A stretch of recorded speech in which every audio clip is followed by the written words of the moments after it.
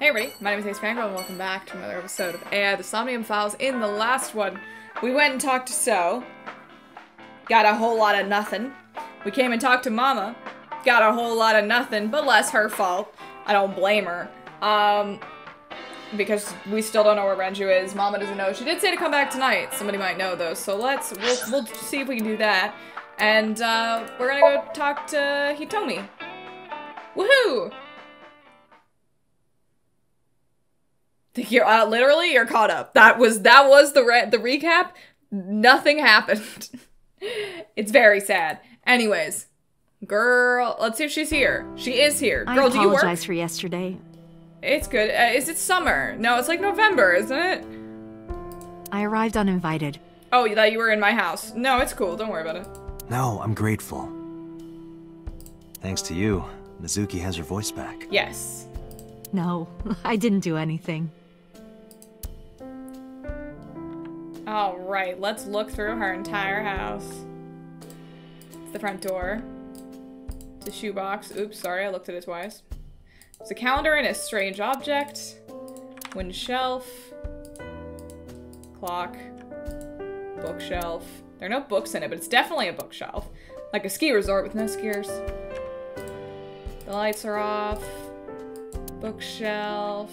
A lot of dishes. Microwave. I bet you're gonna follow up with a fridge joke? Date, a riddle. Yes! A man-eating alligator lives in a river. Okay. There are no bridges or boats. Hmm. How do you cross? I don't. Well, let's see. You jump across? Wrong. Oh. The solution is simple. You just swim across. Oh, if you're a woman. But what about the man-eating alligator?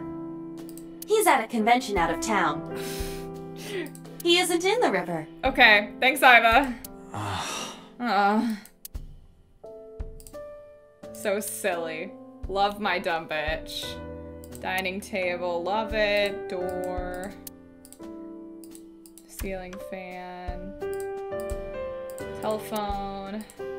Blooming winter iris, supposed to be a sign of good news and hope. Cushion. I've been wondering about that picture. Oh, Iris drew it when she was 12. That's you on the left and Iris in the middle, correct? Yes, And who's on the right? the man I was dating at the time.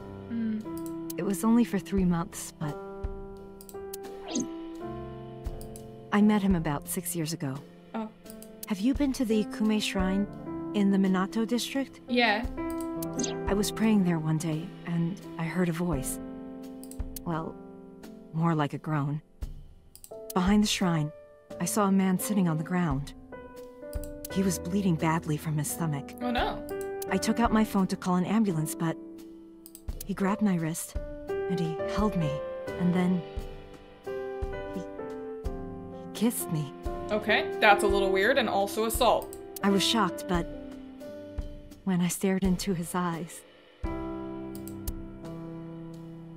then I heard footsteps. And then a bunch of men yelling. They were looking for him.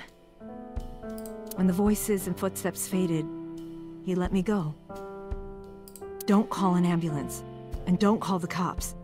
Okay. I knew he had to be a criminal, so I took him to an underground clinic I knew. Yeah, because I just I just know those things. You took him to a mob doctor? Renju's friend. I only met him once. More? Even though oh we god, had our so first much. kiss seconds after meeting each other. Wow, I haven't even like said hi or like how's it going, caught up with her at all, and she's just telling me all this really personal stuff about her life. I feel a little bit bad. It took a long time before I got to see him again. The first time we held hands was when we watched a horror movie together. The first time I took his arm was when we went to a haunted house in an amusement park. but I wasn't the one who grabbed him. Aw. A zombie jumped out and scared us, and he clung onto my arm. He had that cute side to him. And I was falling in love. Our second Oh kiss was in the car. Wow, this is so personal. Like I'm like, girl, it's okay. You don't have to relive all this with me. It's cliche, I know. But we drove around at night, looking at all the lights. We parked our car near a warehouse. and kissed. Was it a cold storage warehouse? Just wondering. I don't think we ever said I love you. But we both knew. We were getting closer and closer. I introduced Oh him my to God. Iris about a month after I first met him. She's Iris so never had a father figure in her life before. She warmed up to him immediately and treated him like a real dad. From then on, it was always the three of us together. We would go to the beach, to the river, the zoo, the amusement park. Going to barbecues with another person was a new experience for me and Iris. Everything felt so fresh. Every day was so exciting.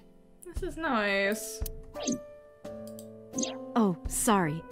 You asked about the picture. Hmm. He wanted to make okonomiyaki one day. He was working with the hot plate. It was ridiculous. He was trying to flip one, and it flew up in the air and landed right on my head. Iris saw the whole thing and laughed and laughed. I hadn't seen her laugh like that in a long time. I was having so much fun that I put an okonomiyaki on their heads too. Plop, plop. Aw. I added the bonito flakes and mayo and sauce. At this point, there was no going back. Eggs flew, flour going everywhere. The room was not a pretty sight. I bet. After our battle, we laughed like crazy. And then we realized that we had to clean it up, and we stopped laughing. We were rolling around on the floor. So Iris decided to draw it. It's nostalgic. But those days didn't last. Oh. Six years ago, in November, a man with a gun broke into our house. Fortunately, Iris wasn't home at the time. But my boyfriend was. That's why the gunman came. He wanted to kill him. Oh. He wanted to kill him and he would never stop. He pulled the trigger. I tried to protect him. The bullet hit me, but the police arrived. And that's probably what we saw in our dream, weirdly. They were both arrested and incarcerated. Why was he after your boyfriend? Before he met me, he committed some terrible crime. I don't know the details, but it was awful. So he became a target for underworld criminals. I don't know exactly why, but I know that he betrayed them in some way. Hmm. May I ask you something? Okay, wow, we're still going. Of course, I had heard that that incident was a random break-in gone wrong. Oh. That's not true. I lied about it at the time because of Mizuki. Mizuki is Iris's friend. If she found out, Iris would find out too. Hmm. That makes sense. I didn't want Iris to know Know what? that I was dating a criminal. He was her father figure. Iris looked up to him. If she found out about his past, That's fair. There's a drawing on the wall. Iris drew it when she was 12. Alright, we're done. So that's all the info we're gonna get there. That was that was a lot. There's a lot to unpack there. See the trees and sky outside. Not sure if any of it is important. Some tea on the coffee table. Steam is rising from the tea. There's some elementary workbooks, but looking closely, one in the middle is different. How to handle a monster parent. Uh-oh. And a self-help book. Yeah, honestly, respect for teachers. There are pineapples growing in the corner. That's what I thought anyway, but then I realized it was just a plant. Oh, I get it. Speaker system. Nice. Alright. Woo! Hi, girl. Tommy's sitting on the sofa. Sorry that I made you get into, like, all of that really personal stuff and made you talk for, like, 10 minutes without even saying, how are you? Yeah, it's Monday, isn't it? School day? I was asking that myself. today's a holiday. oh, is it? I suppose there's never a day off for a detective.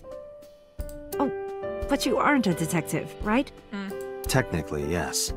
But I still deal with crime. I see. Today is a holiday. Is it? You forgot too, didn't you? For sure. Honestly, it's so relatable. Um, let's talk about Iris first before we get into the hard-hitting I questions. put Iris through so much. I was 19 and single when she was born. People didn't take kindly to that, Yeah. but Iris was such a fighter. She always protected me. I remember, one time at the nursery, some of the other mothers were talking about me. Iris ran up to them and said, Don't talk about my mommy! Aw. I'm supposed to be the mother, but it's Iris who's always protecting me. Yeah, she seems like a feisty one. Uh, what about your parents? They died when I was 17. Oh, damn. I was an orphan, and my relatives lived far away. They might have taken me in, but I was already in my second to last year of high school. It wasn't a good idea for me to move that late. So I decided to stay here, by myself. And take care of Iris. Yes, all alone. But Renju would help sometimes. Well, he was a shitty parent to his own kids, so I hope he did better with yours. Oops, sorry, I looked at the couch. Um, about Iris, anything else you want to share? It was always just me and her. Vacations, barbecues, zoos, amusement parks. Just me and her. Until your boyfriend. Sorry, maybe we should have talked about this first. Oh, that reminds me. When Iris was five, there was a children's theater show in Bloom Park. Hmm. It was called Milky Moon. It was about girls as magical space rangers and such. Uh, do you mean Sailor Moon? She loved singing and dancing, even as a kid. Whenever she heard music, her body would start moving. It was a quirk of hers. And she did it at the show, too. Toward the end, when all the Milky Moon girls were dancing to the ending song, Iris climbed up onto the stage and danced with them. Aw. I tried to stop her, of course. I grabbed her arm and tried to get her to sit, but before I knew it, she was up there, dancing. And everyone was so excited. Even I was dancing by the end of it. Aw. He's a good kid. When it was over, she had the biggest smile on her face. Mama, you're a good dancer. That's the kind of girl she was. Honestly, is. I don't know she's changed much. Uh, anything else to say? Whenever she sees someone playing Look at her music on the street, she'll run up and join them, right then and there. Music at the train station, the crosswalk beeping. Even at convenience stores, when their little chime played, she would start dancing. Aw. It almost got her into trouble once. Oh, really? She was on the jungle gym and a truck drove by. It was playing loud music out the windows. She climbed up to the top and started dancing. But she lost her balance and fell. Oh, fell. no! She fractured her leg pretty badly. Oh my god. It was on a Sunday, and it was hard to find an open emergency care. I was carrying her on my back, running and running through town. I could still hear her crying. Will I still be able to dance, Mommy? Can I still dance? Oh. She cried and cried into my shoulder. It was the only time she ever cried so much. No, um, that's not true. There was one other time. Yeah? What was the other time? Oh. You don't want to talk about it? Six years ago, Oh. I was the victim of a shooting. Right. After the surgery, Iris came in running. And she was sobbing.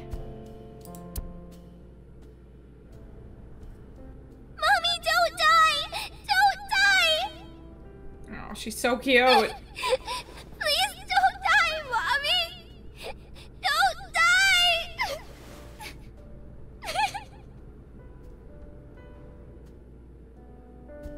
I swore to myself then that I would protect her, no matter what. Iris is everything to me, more important than my own life. Good mom. Okay, where's Renju though? Did Do- something happen to him? Bruh. You asked me that yesterday. Uh, there's no point hiding it. I told her about Renju's disappearance and his car accident. Right from the hospital? Yes, he's gone. I'm sorry. I have no idea. Oh. Damn. okay. Summarize for me then. Date, we can't spend time reminiscing. We spent a lot of time talking about that picture. We have to get moving. Yeah, let's go. Okay, we gotta go. Uh, she's touching her right shoulder. All right, bye, Queen. I gotta go. I'm gonna go find your your daughter. Okay, I'm gonna go find your daughter.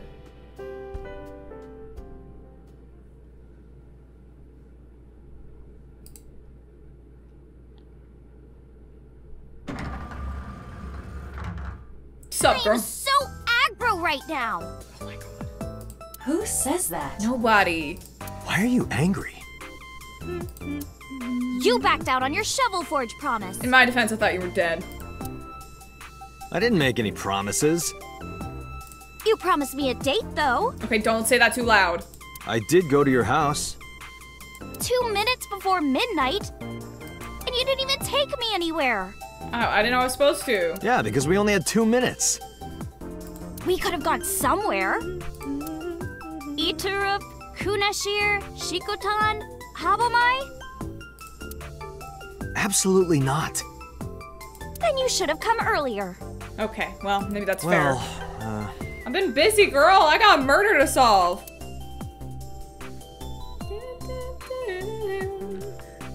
All right. Nobody heard any of that, right? Probably not, except I for should lose some weight. I didn't say so fat. I, I wouldn't have gotten that one. Monitor a plant. Dante, look! Girl, what do you see today? What do you see? It's a Pterophylla camellifolia. Look! I'm sorry, a what? Yay! Yay! Go Pterophylla camellifolia! Yeah, go. She gets awfully excited about insects. I girl, I don't know what that is. Special. How to make good soba. Bring that one home for later. Yeah. Our high stools. Oh, it's a high table. Uh Date, I don't understand. What about it? You want me to say hi to this table? Jesus Christ. It's not what I said. Vending machine. Girl, no. You're fine. Door. It's probably an office. Promotional videos. It's Shinsen Tatran. Yep, that's that's who they are. Who's that?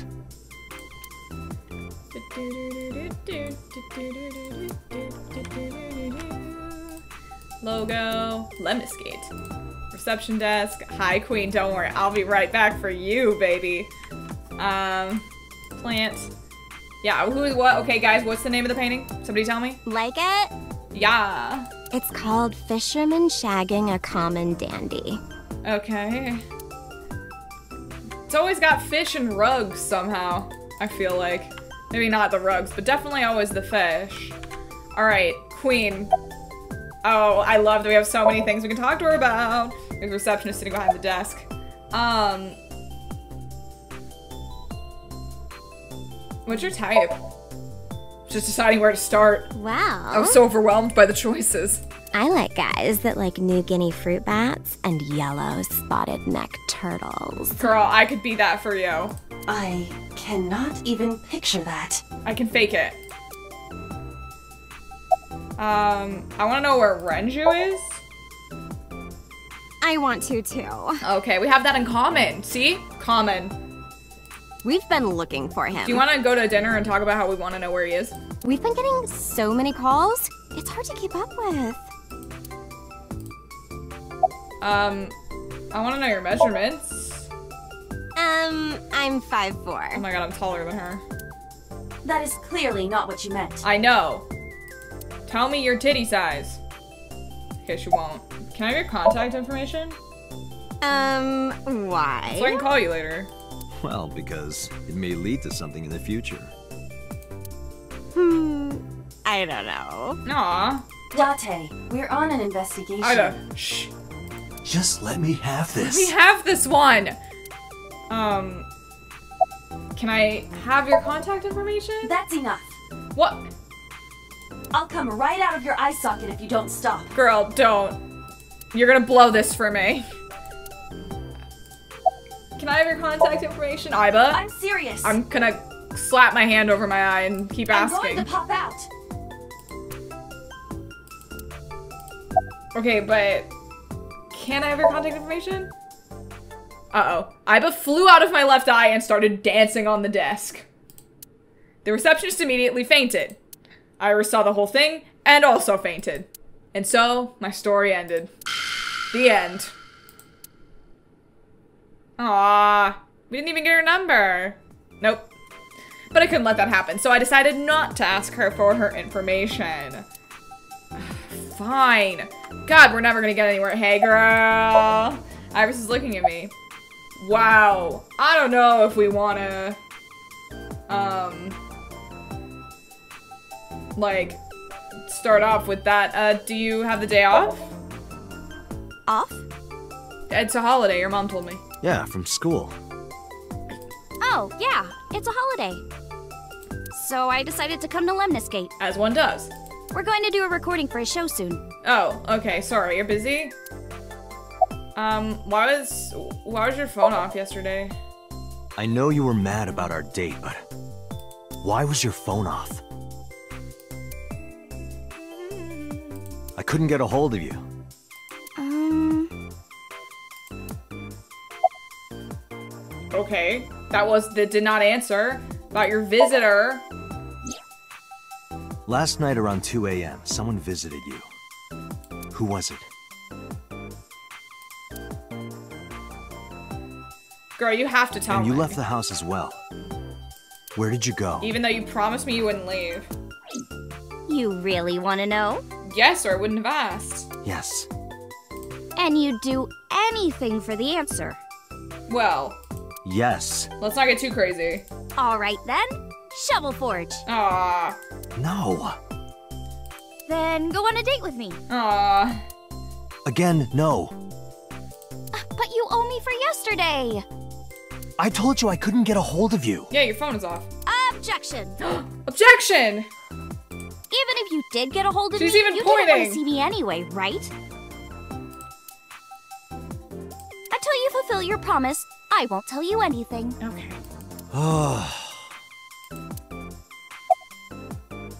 Where's Renju? Do you know? What about him? I'm really looking for him. Really trying. I don't need to hide it. I told her about Renju's disappearance. A traffic accident? Yeah, it was wild. I'm worried. any idea where he could have gone? I'm sorry, no. Okay, well, damn, you're not helpful. Uh, do you know So Sejima? Just random. I've seen him on TV. Mm-hmm. Ever met him? No, Okay. Not at all. Never? no, not at all. Okay. Hey, so, um, listen, this is gonna sound absolutely insane, but I saw your body. Iris, promise you won't laugh, but I saw something at the cold storage warehouse. I mean, night. if someone told me this, I wouldn't laugh, I would freak the fuck out. What? I would think that was creepy as hell. your dead body. Like, how's one supposed to take that? Never mind. I guess it would kind of be funny, but also I'd be like, what a weird joke to play on someone, you lunatic. I told you not to laugh. But come on, Date. I'm alive. I'm right here. I did notice that. Yeah. Look, I can jump around. Woohoo! Woo! Stop, I'm serious. In my dream, I saved you from being killed. Okay, you're not doing yourself any favors. And here you are, You sound like a lunatic. which is why I was like that when I went to your house yesterday. You sound crazy. Just a little. Sorry, there's no point in telling you all this. Honestly. No, it's fine. He's crazy. Sorry for laughing. I just didn't know what was up with you. Huh? I believe you, Date. Okay, that was easy. Maybe you were in a parallel world or something. Oh, shit. Another bizarre explanation. But we're never gonna come up with a better one. That isn't crazy. Alright, summarize for me. So, what are we doing? What do you mean? I thought you had to work. For our date, of course. Ah. no, I don't wanna. Iris, you're too young for me. Yes, I can't be seen with you. Oh. What? Uh-oh, you hurt her feelings. Okay, see, yep, too young. Hey, hey, what are you doing? Everybody, Uh-oh. this awful man. Shit. He, he. Damn, she's good. Fine, fine. I'll do whatever you want. Okay. Really? really? Yes, Shovel Forge? Yes, we'll play Minecraft together. I will not. Why? What's wrong with Minecraft? So we'll go on a date then. God, dude, if it's between a date and Minecraft, I would play Minecraft. I mean, well, I would date her, but... Actually, wait, she's legal, right? yes. I don't want to look, I'm afraid. Yay! It's a deal. Objection! Damn it. and you have to honor our agreement this time. Yeah, okay. She really is a witch. Damn. She's good. Oh, but we can't go right away. Yeah, you gotta work, right? I have a recording coming up. Okay, so later. I should be done by three though. Okay, I got one more place to go, so I can come back. Tessa, we're starting soon. This receptionist was here listening to this entire thing. Got it. So, Date, meet me back here at three?